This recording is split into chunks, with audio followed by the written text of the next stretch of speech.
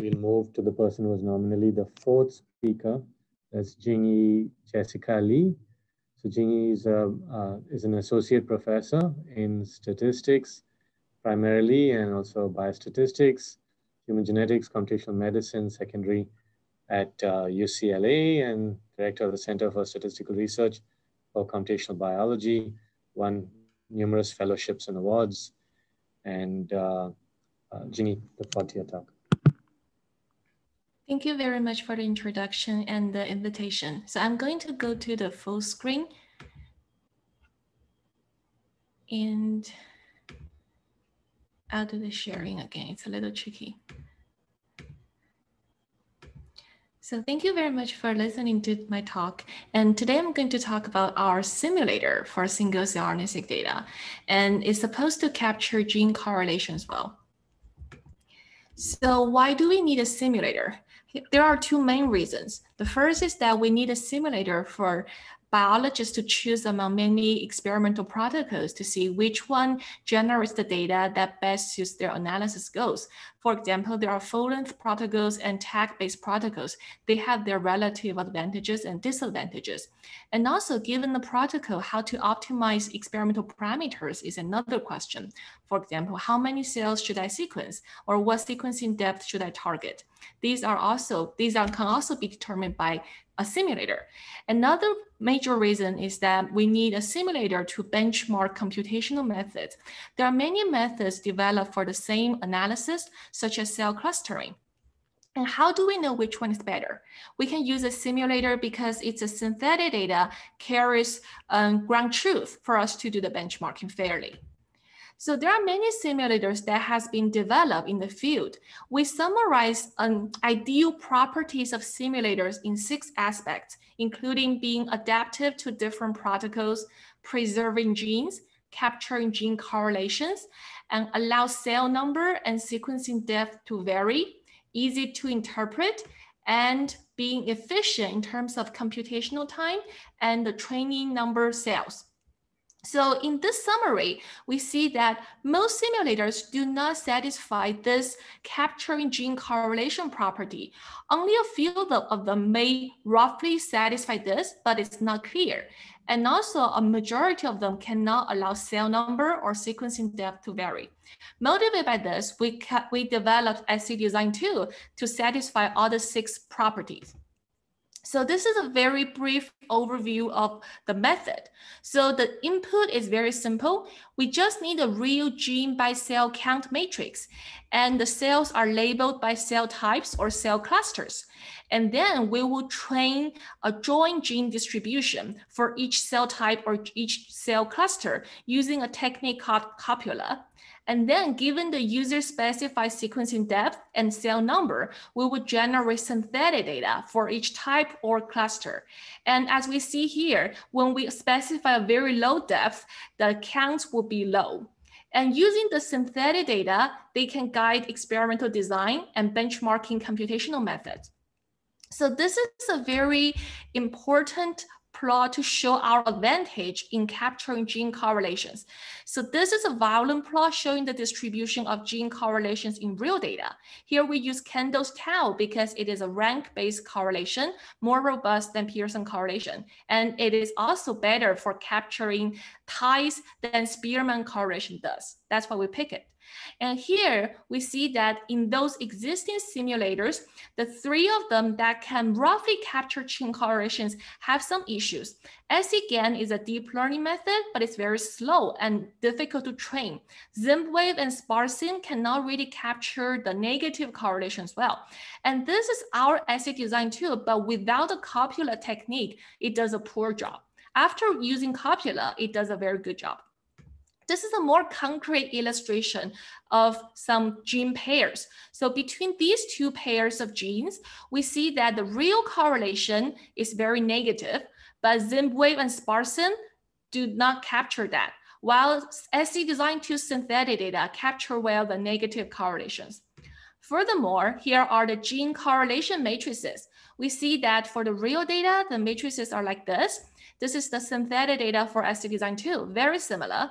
But look at ZINB-WaVE SparSim, not so similar. Without copula, we cannot do the job. This is for 10x data. Further, let's look at SmartSeq2 data. We have an even bigger advantage. So real data is like this, synthetic data by scDesign2. Zim wave SparSim without Copula, they do not do the job. So we show that it's very, it's very realistic, our simulated data.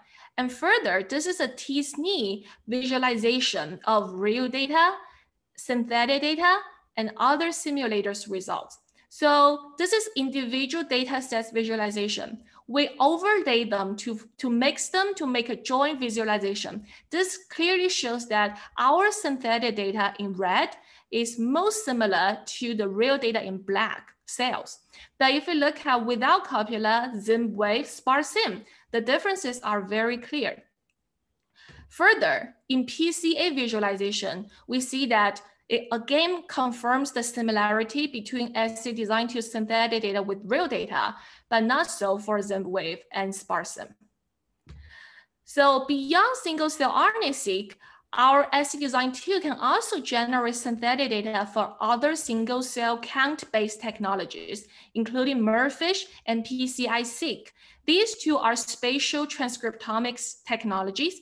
And here we're showing PCA visualization, real data, synthetic data by scDesign2, by ZINB-WaVE, by SparSim we see that by looking at the colors, for example, the pink ones, we look like the real data the most, while here the pink cells are divided into two positions.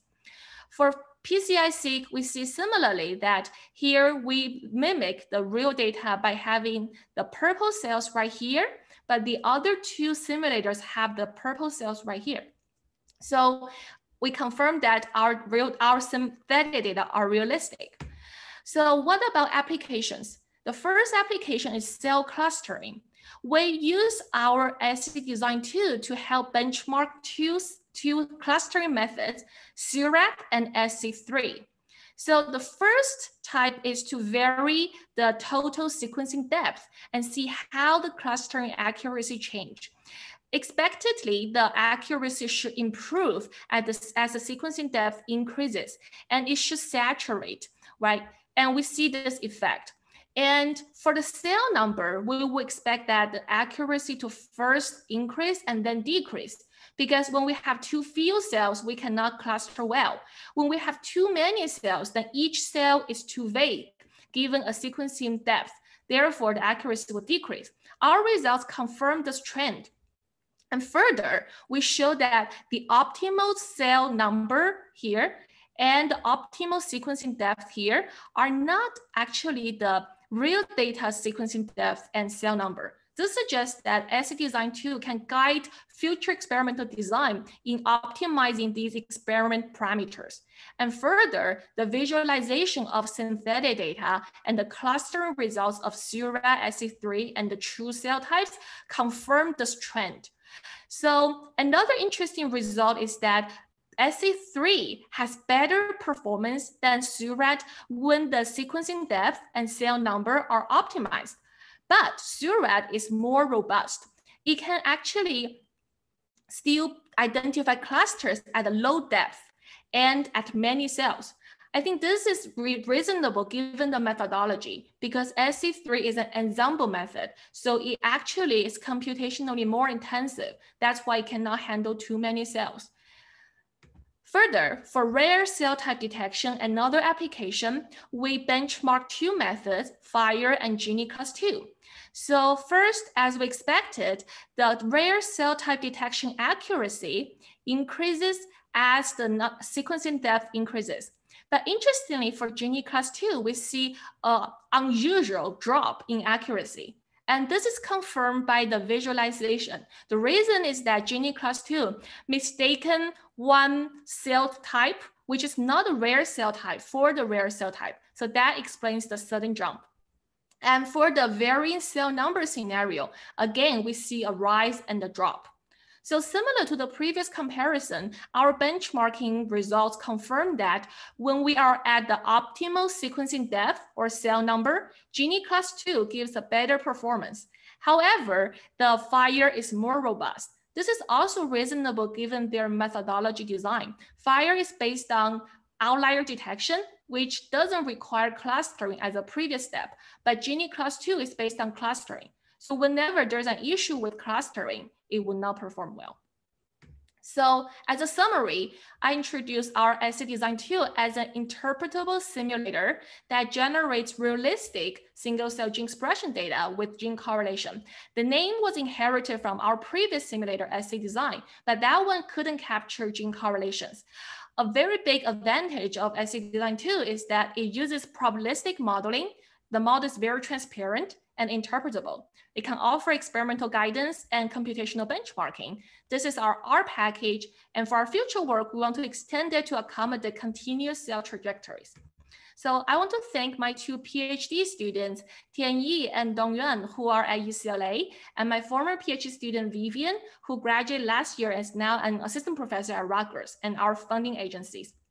So finally, I want to give a one slide preview of our other method, pseudo-time DE, developed by Dong Yuan. So the method is to identify differentially expressed genes along pseudo-time, and the advantage is about its validity of p-values. So this QQ plot shows that our pseudo-time DE can really generate p-values that follow uniform distribution under the null, while existing methods, including tradeSeq and Monocle3, doesn't do well in this aspect, and these other methods from bulk RNA-seq data couldn't do well. And with this value p-value, pseudo-time DE can actually control the FDR well. And given the FDR control, it can give the best power. So that's all. Thank you very much. Thank you, Jingyi. Uh, great to see more accurate simulation methods.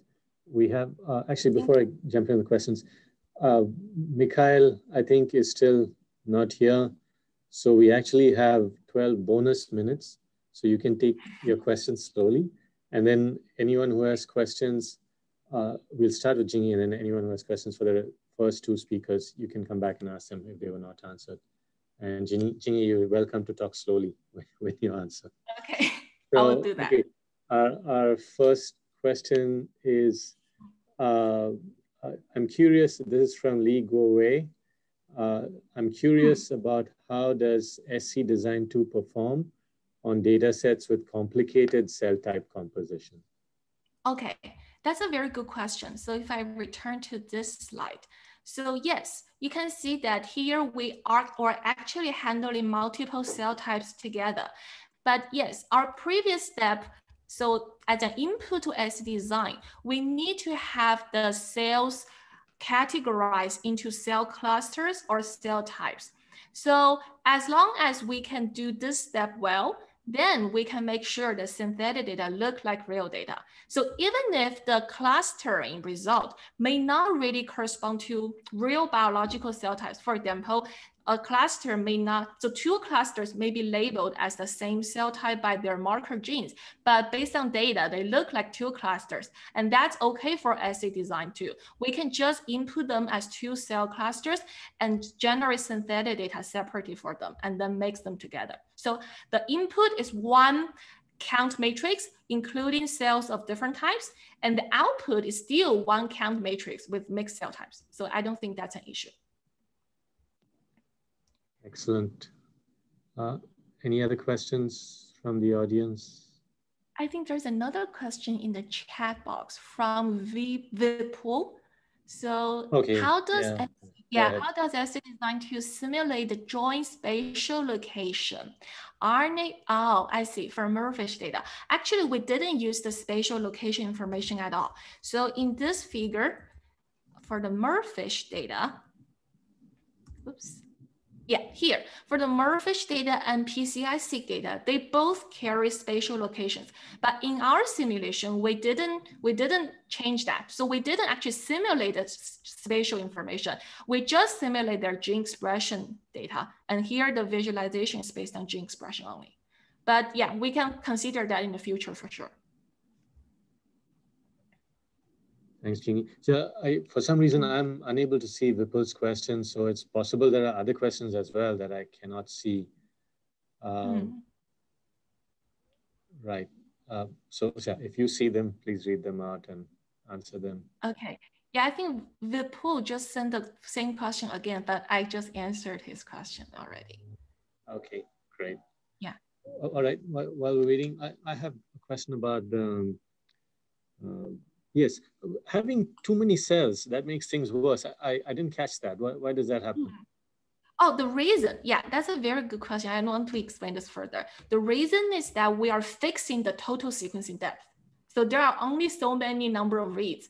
When we get more cells, then each cell will get more, fewer reads. So that's why fewer genes will be captured per cell. Uh, okay, so it's, it's just a sequencing depth. It's just a sequencing depth. Yeah, it's just a balance. Got it. Yeah. Got it. And, and what, what happens if your, your, your ground truth uh, is, is wrong? What if, what if your ground truth is wrong? It just comes from some algorithm, right? So oh, actually here, basically, yes, we actually learned the data characteristics from real data. But when we simulate data, you can consider that the cell types or cell clusters we use to simulate new cells because the synthetic cells are generated. Then you can consider the cell types they are generated from as ground truth. I understand, but let's say uh, your yeah. real data, you're assuming somebody has to give you the cell type labels in the real data, right? Sometimes somebody has to give us the cell type label, or we have yeah. to do cell clustering and then label exactly. each cluster. Yeah. Right. So if that original clustering itself is wrong, how does that affect your method? Okay, yeah, so if the original cell cluster is wrong, what we can only say is that um, we still try to simulate varying number of cells and varying sequencing depth from that wrong truth. So the truth is wrong, but the, the simulation procedure is still trying to mimic the, the experiment. So basically, you can still evaluate how your method will perform in relation to the wrong truth. But I think, yeah, but whether, but but I think the issue is that we never know the whether the truth there is truth, right? That's why we're doing single cell experiments. So, but, but I think the benchmarking is still meaningful that because we are comparing those methods based on the same set of truth. Okay. And, and yeah. um, for example, sequencing depth, so that, you know, you, you can simulate mm -hmm. higher sequencing depth than what the data had. Exactly. But for lower sequencing yeah. depth, I guess you can just downsample the real data, right? So have you tried comparing your simulations to just downsampling the real data? That's a lot of people are doing, right? So they downsample the real data. And but here, one thing I think maybe advantages in our approach is that when we try to learn the gene join distribution, that distribution is actually not um, so basically, we, that distribution can actually scale up or scale down based on the total sequencing depth. So that's a step we incorporate into our simulator. So basically, I feel like if you trust the distribution, for example, marginally, we will fit each gene to fit to follow a count distribution. And we choose from four count distributions, which are Poisson, zero inflated Poisson, negative binomial, zero inflated negative binomial. So these four distributions have been verified that actually describe the data pretty well. And we use a data-driven approach to select for every gene which distribution describes its expression the best. So therefore, I think probabilistically we can think, okay, this is more reasonable than just downsampling because downsampling actually ignored part of the randomness in the gen in the generation of single cell gene expression data because you are downsampling every cell or every gene by the same amount. So you're doing a, just a proportional downsampling. But while when we are generating new cells, we're actually mimicking some random nature in the generation of reads, which is not captured by simple downsampling. Understood. Uh, yeah. Uh, thank you, Jingyi. I want to give a chance to people who have some questions sure. for the other speakers as well. Who yeah, should I stop sharing my screen? Uh, yes, please. Okay. So uh, anyone have any leftover questions for Wanlu or Wataru? Uh, feel free to type them in right now. May I ask a question for our second speaker, Wataru? By all means, we have yeah. time. As, Yeah, my, my question is, um, so when you evaluate the accuracy, the spatial reconstruction accuracy, it's not based on individual cells, based on your explanation just now. It, is it not based on individual cells, but based on regions? Uh, Wataru, you're, you're muted. Uh, sorry. Yes, that's right. Um, because uh, we have um, only uh, known data. So um, so known known data means you have only regions. So not individual, mm. individual cells. You need to, if you need, an individual cell location, you need to generate it from a MERFISH or uh, was I, I, forgot the name, but the other fish methods or something. Mm. I see. But when you do the reconstruction, is it based on individual cells or regions? So when you use the SOM, self-organizing map. Uh, yeah, um, um, our algorithm can use uh, a cRNA-seq data, so individual cells are input. Okay, I see. Yeah. So basically, we, we, we are doing a clustering, okay, based on the self-organizing map. Mm. Mm. I see, I see. Thank you, Wataru. Uh, um, Jingyi, one more question for you. Uh, sure. Yeah. From Guangdong Peng. D does scDesign2 impute the dropout? Will it also oh, add details for trajectory inference? Um, yeah, these are very good questions. Yeah, very two very good two questions. So dropouts, no, we actually we do we don't do imputation at all, but we actually simulate dropouts as they are in real data. So, so essentially the zero will be, so the zeros will be in synthetic data, the dropout phenomenon will be like in real data. So we just want to make the data realistic. Yeah, so that's why we didn't do imputation. Although we developed imputation method ourselves earlier.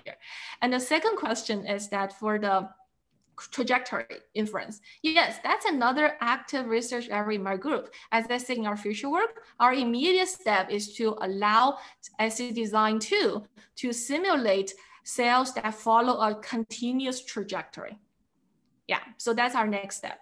And furthermore, I think what is really advantageous of our approach is that because we fit a probabilistic distribution to the genes, right? So I think that's very useful because it will give us a likelihood function which can be of other use. So I think that's very advantageous compared to other approaches like deep neural network, although they can simulate cells, but that cannot be used for likelihood calculation.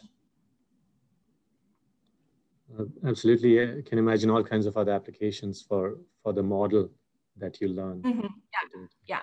That's a good point. Uh, any questions for Wanlu uh, about the first talk? Uh, I, I, actually, okay, we have two minutes. I'm going to use those two minutes. So, so Wanlu, uh, any any insights from your uh, evolutionary analysis of of these transposons? Any patterns you you could conclude, um, or any trends? Say ERVs behave this way, um, lines behave that way you know, one is evolutionarily disappearing, the other is very variable. Uh, anything like that? Do we still have one loop here? Oh, we lost Wanlu. Okay, that in that case, um, we, we can, and there's no more questions, we can wrap up the session. Uh, oh, one last, one more question. Uh, from Xiaochun Wang, uh, uh, to Wataru. Uh, how is the computation time for computing single cell RNA-seq data like for thousand, thousands of cells? I think, yeah, thousands of cells. Okay, um, thank you for question. That's an excellent question. Actually, takes a long time. Um, why? Because uh, um, each each time we calculate a SOM uh, mapping. So for but uh, uh, at the same time, uh, we are trying to extract the, the best set of genes. So this, this needs a, a combinatorial problem, combinatorial optimization problem. So that phase, we need a lot of calculations. So sorry, this is unpublished data. So we are now uh, um, actually uh, tackling this, this uh, issue with uh, lots of uh, uh, methods uh, for combinatorial optimization. For example, hill climbing or, you know, um, Markov chain, um, MCMC, or other methods to optimize the gene set. So it takes a long time. Thank you, Wataru, and perfect timing. So we're at the end. I'd like to thank uh, all three speakers, Wanlu, Wataru, Jingyi, a very stimulating session. Uh, we'll take a 15 minute break now and then come back for the COVID session after that. Thank you, thank you all. And that'll be plenary. Thank you.